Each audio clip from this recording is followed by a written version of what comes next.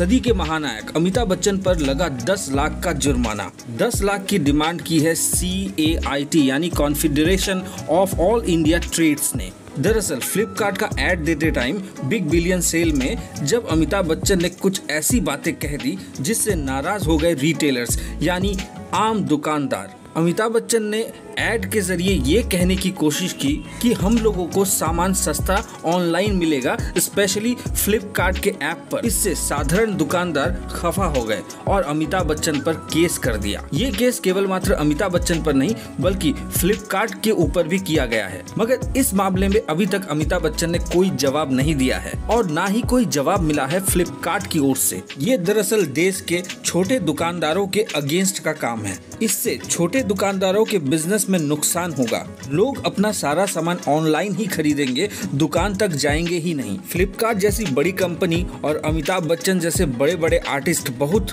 लाभ उठाएँगे, मगर जो छोटे दुकानदार है, उनका नुकसान हो जाएगा और उनकी संख्या बहुत ही ज़्यादा है, करोड़ों में है। आप लोग इस मामले में क्या कहना चाहते हैं, कमेंट करके ज़रूर बताइए। आप अमिताभ बच्चन और फ्लिपकार्ट के पक्ष में हैं या फिर आम छोटे दुकानदारों के पक्ष में? ज़रूर बताइए।